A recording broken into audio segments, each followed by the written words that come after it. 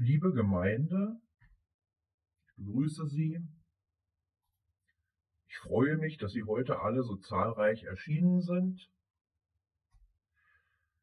Ich bin neu in der Gemeinde und äh, mein Name ist Siegfried Schneck und ich werde jetzt hier sonntags immer die Andachten halten. Ich bin ein etwas anderer Pfarrer als die anderen Herren Pastoren.